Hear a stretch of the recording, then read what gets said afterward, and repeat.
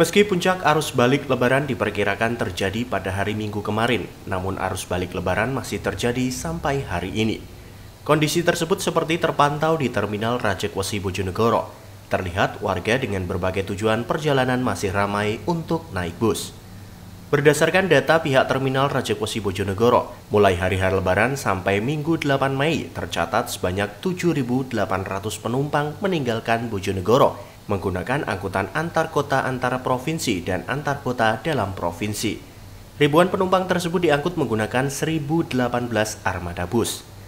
Adapun banyaknya penumpang yang melakukan balik lebaran dengan rincian tanggal 2 sebanyak 402 penumpang, tanggal 3 sebanyak 1003 penumpang, tanggal 4 sebanyak 1044 penumpang, tanggal 5 1049 penumpang, tanggal 6 sebanyak 997 penumpang, tanggal 7 sebanyak 1652 penumpang, dan tanggal 8 sebanyak 1653 penumpang.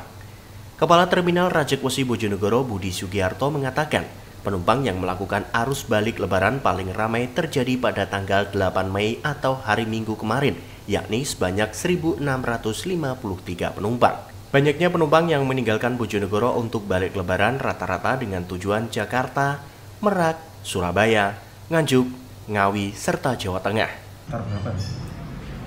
Kalau hari ini belum mas ya, tapi kalau kemarin sudah karena untuk rekap harian itu kan mulai pagi jam 1.50 sampai malam sekitar jam 12 malam.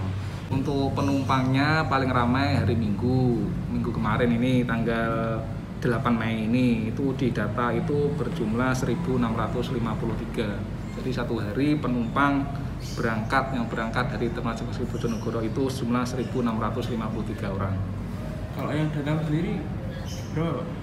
Kalau yang datang, datang itu yang mudik itu ya berarti ya. Kalau yang mudik itu paling rame itu di data itu pada waktu Hamin 2. Hamin 2 hari Sabtu tanggal 30 April itu di data terdapat 2062 orang ya mudik yang kembali ke Bojonegoro. Sementara itu, salah satu penumpang bernama Tio yang akan melakukan balik lebaran ke Bekasi menyampaikan memilih balik lebaran hari ini untuk menghindari kemacetan dan untuk menghindari berdesak-desakan dengan penumpang lainnya. Ini masnya mau ke mana mas Obi tahu? Tujuannya Bekasi. Oh mau balik mas ya? Tuh. Kok milih baru sekarang? Kenapa mas enggak dari kemarin?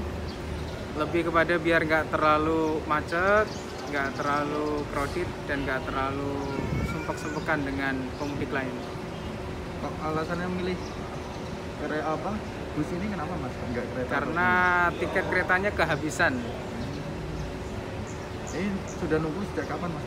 Sudah nunggu jadwalnya jam 12 ya. Sekarang sudah 12.50, 50 menit sudah menunggu. Ini kemarin mudik eh, hari keberapa mas? Atau sebelum lebaran? Mas? Uh, Hamin 7, sekitar Hamin 7 ya. Oh, berarti sekarang ini mau eh, balik, Balik ke ke Bekasi. Bekasi. Terima kasih mas. Edo Jody Aldian, CTV, Bojonegoro.